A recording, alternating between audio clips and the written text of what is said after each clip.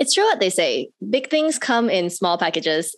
Britney Pang was only 15 when she competed in Girls Fighting 2016 under the mentorship of Seungri from Big Bang. Today, the 19 year old balances both her college life and singing career. Hi, I'm SueLyn. And I'm Kessyl. Let's roll.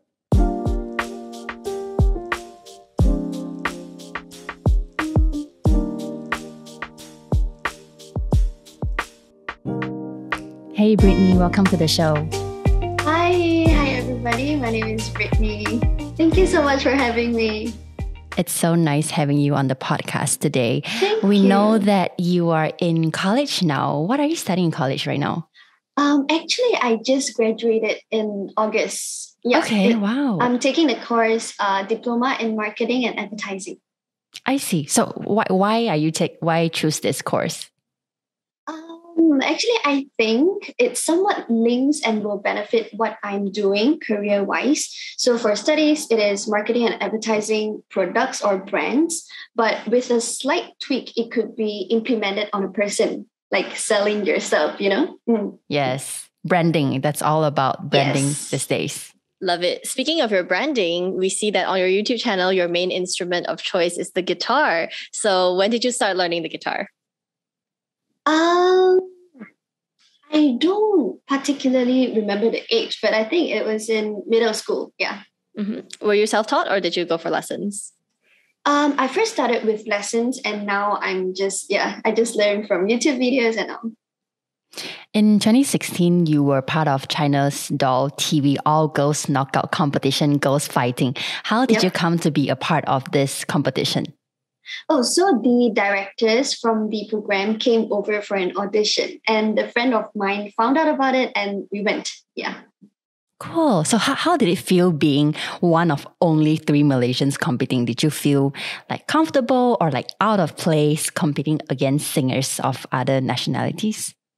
Um, I mean, at the beginning, when the other two Malaysians left, it was a little tough for me because um, I would usually stick around with them when they were still there. Yeah, yeah, but I adjusted shortly and I was comfortable. It was a competition, but we were not that competitive. It was more like a bunch of girls spending their days together, practicing, uh, working hard towards the same goal. Yeah.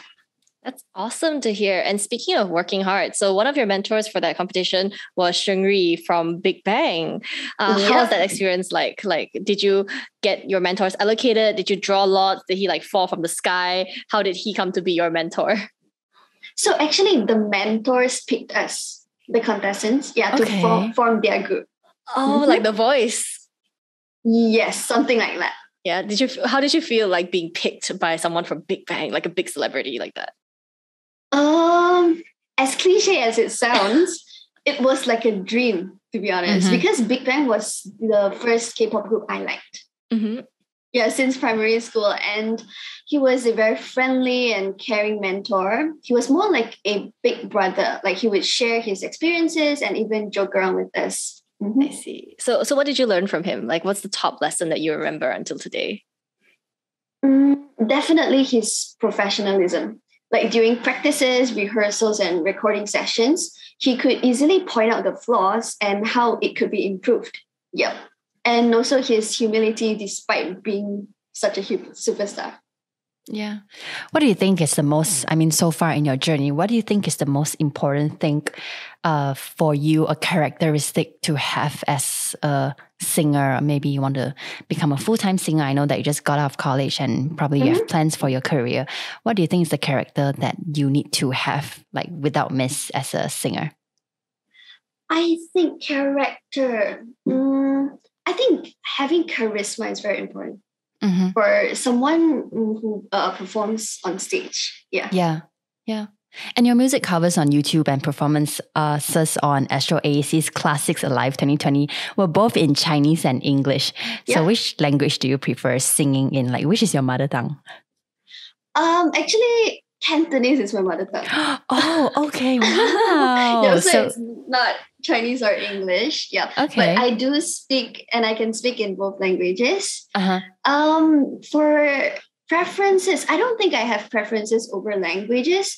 I, I, I also sometimes sing in Korean, So um, I think what is really important is the story or the emotion that is being conveyed. Yeah, but not the language. Yeah. So when you talk about the story and when you sing in Korean, do you sing like phonetically or do you actually like go and like see what the words mean and to understand the Korean uh, song's story? Yes, I would go and understand the story, what it's trying to say. Yeah.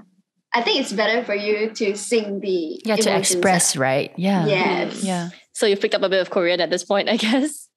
Um, the simple ones. okay. So besides covering other mu- uh, artists' music, you also write your own songs. Where do you get your yep. inspiration? You're only 19. I'm 20 this year. Okay. Yeah. Right. right. I keep forgetting what year we're in. The year has not moved. Yes, Messed up I since know. like two years ago. I understand. Inspiration. I think from everything everything everywhere, just our daily lives, you know. I can write songs um, after watching a movie, you know, about the movie when I have strong desire to travel or just from from an argument with a yeah, family member. Right. Yeah. Just anything. Yeah. Yeah. Okay. So you just finished college and now you're, you know, we're in COVID and we're all half hanging halfway through, yeah. doing what. What's your next big plan or what's your next big goal? What's the next thing that you want to achieve? Um, I think for now I'm still exploring because, as I said, I just graduated my diploma, and uh, I would like to pursue singing as a full time career.